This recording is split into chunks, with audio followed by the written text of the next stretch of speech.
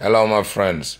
I want to show you how to create a blog within One Africa app, either on the Android or the um, the iOS. Okay, but today I'll want to do it right here on Android. Okay, let's see the app One Africa. Once you find it, it's small right here on the on the thing on the Android, but right here you click on on that. You are right in uh, in in your One Africa.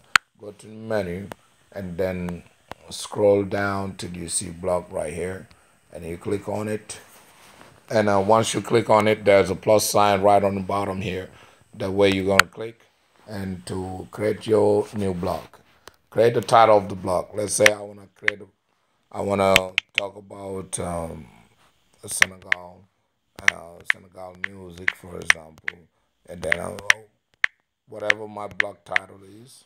Uh, I'm there, and then you want to see um, your tag words, whatever is your tag words. Uh, it allows when people are searching it uh, to come up.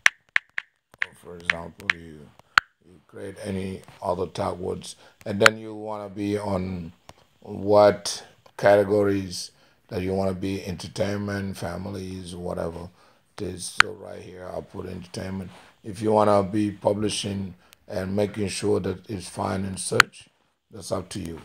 Who you want to find you um, you can choose your privacy. If it's your friends on the network or you want the whole wide world to see it you know even people who are not um, uh, registered or something whatever and uh, comment who you want to comment and all that so you can choose that too once you do all of that, you can click on continue and then develop on your blog. Let's say uh, you want to talk about Senegal music, you write about it uh, as much as you want.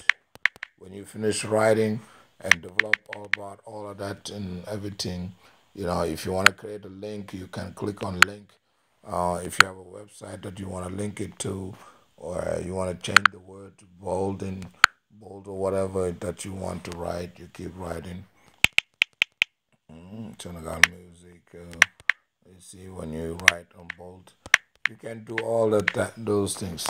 When you when you once you're done, you have a check mark right on top here. That you click on that check mark and your blog is done.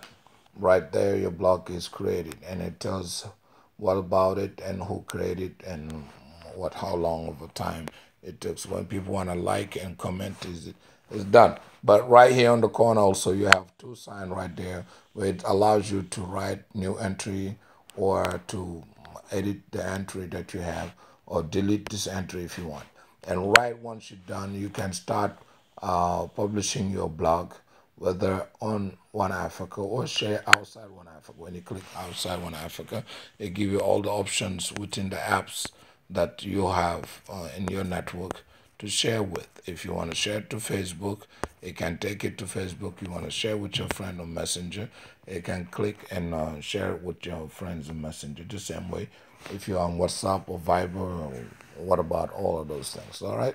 Uh, if you want to share it within the, your friends on, um, uh, for example, on another network, uh, One Africa Network, which is One Africa Talk, right here you can, and they give you the list of people right there. For example, you, you can share it with whoever you want in your network, right?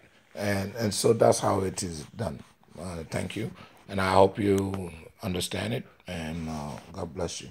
Now that was just a test. I'm gonna delete this one, and I delete this entry. Then, uh, and that's how it is done. All right. Thank you very much. I hope you understand. Bye bye.